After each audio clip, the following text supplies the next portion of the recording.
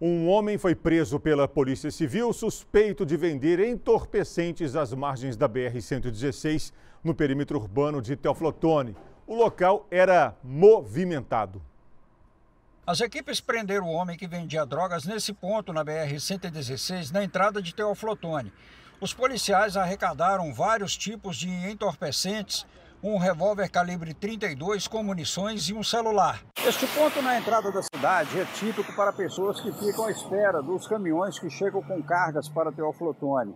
Mas a polícia observou uma movimentação estranha, porque as pessoas que ficavam no local ficavam de dia e à noite, a noite toda, e passaram a observar essa movimentação até descobrir que, na verdade, a atividade de quem estava no local não era para trabalho com cargas. O delegado que comandou a ação diz que equipes da Polícia Civil faziam investigação de outros crimes quando percebeu o comportamento do suspeito. A equipe da Furtos e Roubos passou aqui por um, pelo menos por uns dois dias e percebeu essa movimentação e fez uma campana aqui à noite para visualizar esses indivíduos. E percebeu que os indivíduos chegavam, pessoas para comprar drogas, chegavam aqui e eles vinham de cima desse matagal e é, entregavam a droga para a pessoa aqui, um objeto que a gente não sabia o que, que era, né, mas que a gente presumia que fosse drogas.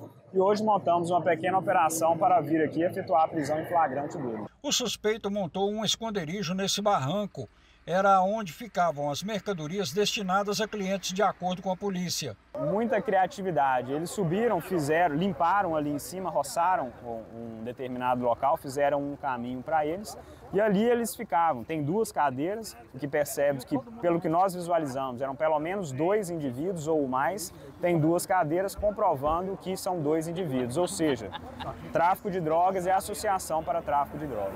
O homem preso, se for condenado pela justiça, vai responder por três crimes, segundo o delegado. Não adianta achar que vai ficar fora dos olhos da polícia, porque mais hora menos hora a gente percebe e efetua a prisão em flagrante dos indivíduos. Como eu falei, ele vai ser enquadrado por porte legal de arma de fogo, por tráfico de drogas e, além disso, por associação ao tráfico de drogas.